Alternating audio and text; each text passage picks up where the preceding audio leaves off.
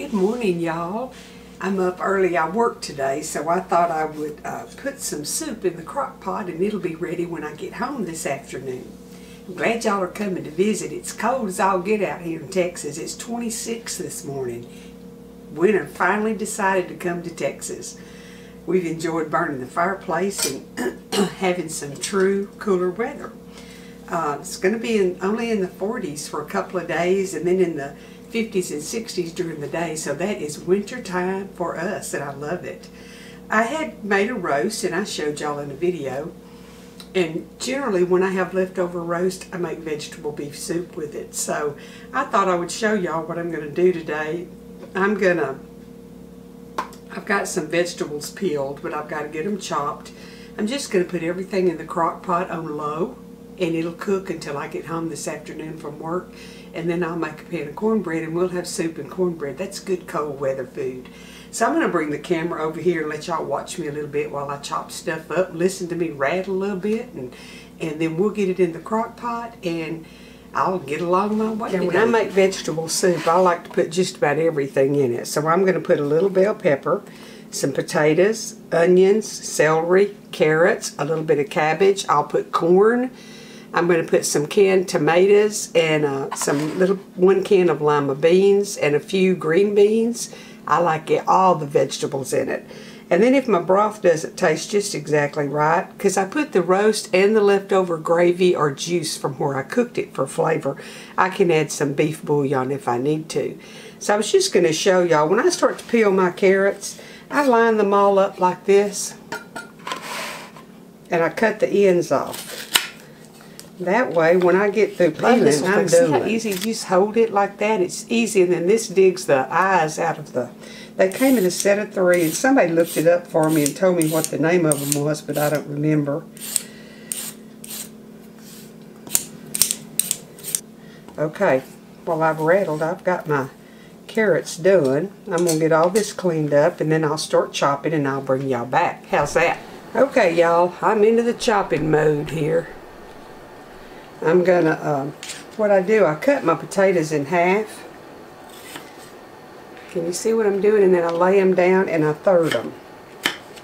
And then I cut that about three or four times and I get pretty good uniform size little squares of potato. I mean, y'all probably think, Goofy, I know how to cut a potato. But if you want them to all kind of look the same size, that's kind of a method. On my carrots, because they'll be in the crock pot and have plenty of time to cook, I'm just going to cut them uh, in rounds. Now that great old big one, I did cut it in half and cut it up some more, but I'm just uh, cutting my carrots up. And then I'm just going to cut my celery in bigger pieces because if somebody should come that don't really like celery, it's easier to push it aside if you've got it in bigger pieces.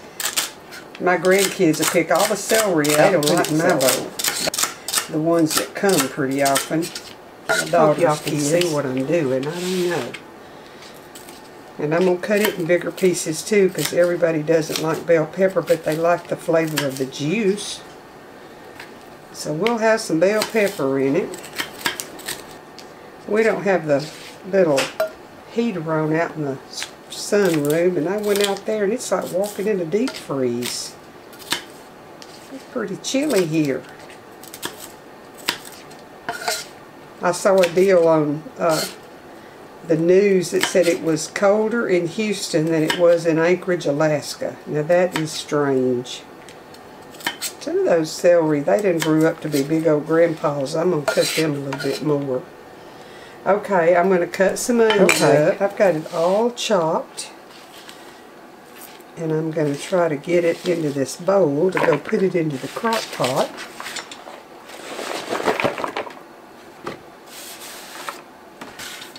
To be a big old pot of soup. Okay, now I've got my cabbage here.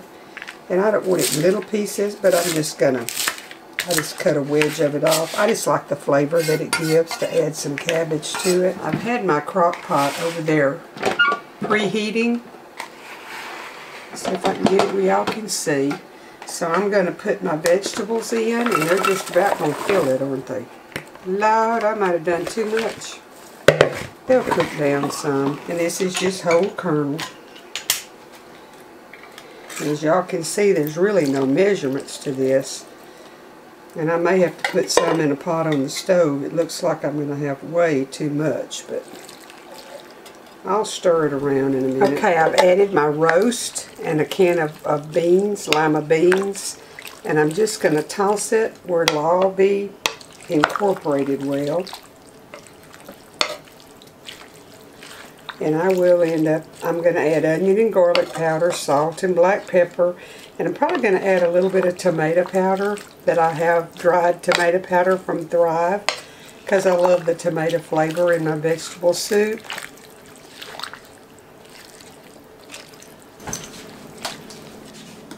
And I'm going to put about three tablespoons of onion powder in there. That's a lot of soup. And they're going to be heaping tablespoons too. And a teaspoon of garlic powder. Now I did put um, three small cloves of garlic in there. But I like it very flavorful. I don't like it to not have enough flavor in the juice. And I'll taste my juice because I don't have anything in here that's raw that's going to hurt already cooked. I mean,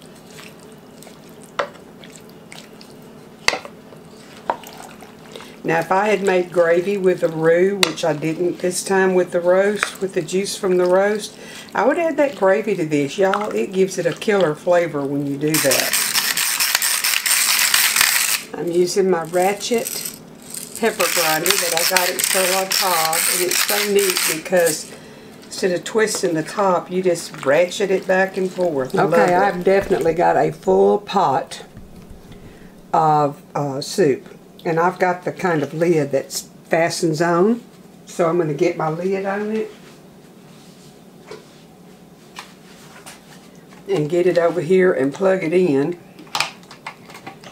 Snap that lid in place get it plugged in and I'll have supper ready when I get home this afternoon. It's kind of fogged up, but I've got it into the uh, pot with the lid on it, the crock pot, and I've got it on high to start with, and then I'm going to cut it to low and just let it cook until I get home this afternoon, which will be, it's going to cook about six hours or so. Here's our bowl of soup all dished up.